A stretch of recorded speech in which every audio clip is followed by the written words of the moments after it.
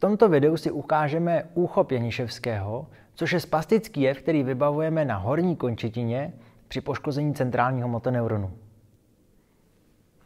Tento reflex vybavíme tak, že vložíme pacientovi do ruky nějaký předmět, například naše prsty, a při vysouvání z dlaně ven se dostaví reflexní úchop.